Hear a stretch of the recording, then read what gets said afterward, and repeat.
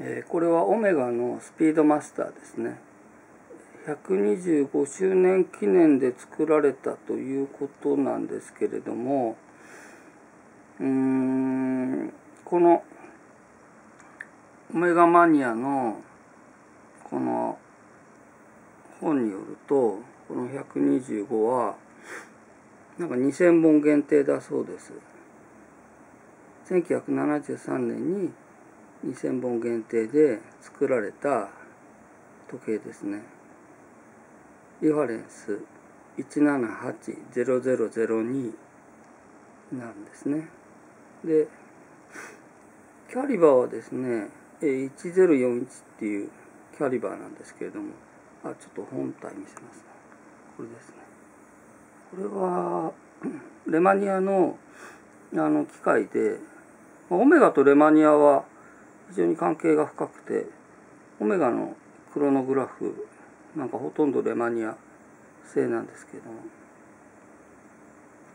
これはあのクロノメーターになってますね。クロノメーターテストを受けているんでしょうね。珍しいです。オメガでクロノメーターテストを受けてっていうのは。で一応これはクロノメーターモデルでしてまああの唯一これにのみ搭載されているキャリバーですけれどももちろんベースキャリバーはこちらあります。他のスピードマスターにも入ってますけれどもレマニア製の機械ですね。で結構ごっついケースで、え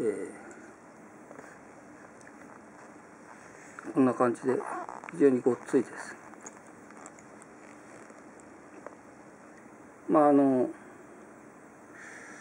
音差のクロノグラフでしたっけ？あのザリガニって言われてるモデルもあるんですけどごっついので。で、まあ、それに負けず劣らずのごっついケースですね。ブレスも相当、えー、分厚いブレスがついてます。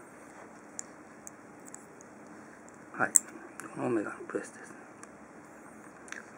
まあ一応2000本とオメガのまあこの本は一応オメガが公式に監修してますので、まあ、その辺間違ってるとは思わないですけど